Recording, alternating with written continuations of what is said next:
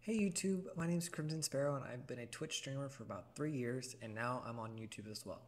Today I want to talk about one of the main differences on YouTube that you don't see on other platforms like Twitch, which is creating thumbnails.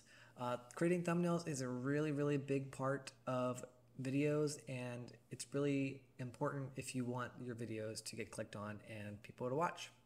Uh, so today I'm going to show you how I like to make thumbnails for my live streams and videos that are saved afterwards. There's three ways that I feel like you can go about this, uh, which is creating one during your stream or creating one from saved videos of previous streams or even just videos in general. Um, or you can create one before your streams altogether. Uh, and I do the last one, which is creating one during um, the prep time for my streams. Uh, so one of the ways that you can go about doing this is getting a picture from online, uh, which is something that I like to do. Uh, I get a picture that I feel like is a good representation of the game. Um, yeah.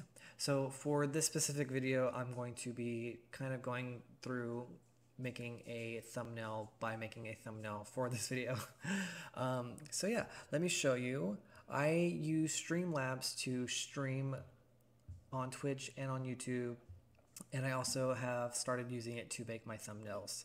So over here you have your, they're called scenes. Uh, it kind of just goes through different, you know, scenes. And you can create different sources that'll show up on those scenes. So I created a scene uh, specifically for my thumbnails so that it would be easier for me to go back to it whenever I wanted to make a thumbnail. So some of the things that I added are right here. Um, usually I only have one image and that is going to be like the main image that you will see for my thumbnail. Um, but for the specific video, I added a few different ones because I wanted to have all the different thumbnails that I've kind of created for my videos just because I feel like, you know, this video is about thumbnails. So uh, another thing you can do is add other elements like this uh, that are a little bit more transparent and you can kind of add them to the thumbnail. Uh, just picture this as my thumbnail right here. So we're going to take away my display capture here and now you see uh, the different pictures that I've used for some of my thumbnails. Um, I'm not going to use this uh, for this thumbnail though, I just wanted to show you that you could do that. It's really cool. It has a transparent background around it and whenever you add it to this, it maintains that transparent background. Uh, and another thing you can do is add a text source uh, that you know you're probably used to seeing on thumbnails uh, and then you can kind of go in and edit it so that it matches whichever part you're on for that video. I'm not going to be doing it for this video though. Uh, and then of course, if you want it, you can add your camera source, which is what I'm going to do today. Normally I would have it on whichever side I'm going to be doing that stream on so that, you know, it's a little bit consistent.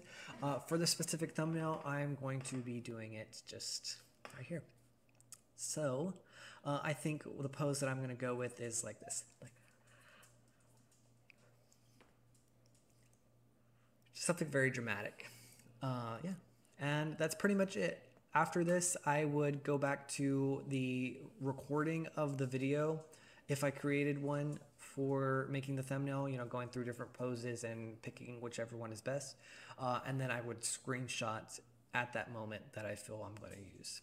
Uh, and then I will edit the screenshot and kind of like crop it into only the specific parts that I want shown on the thumbnail, uh, which is what I'm going to do for this. So, and that's pretty much it. So yeah, uh, subscribe if you want to see more of my actual content, like the live streams. Uh, you can follow me on Twitch as well. I stream there pretty regularly, um, about twice a week, and then I stream on YouTube once a week. So uh, follow there, subscribe here, and comment if you have any suggestions for specific videos you want to see. Thank you.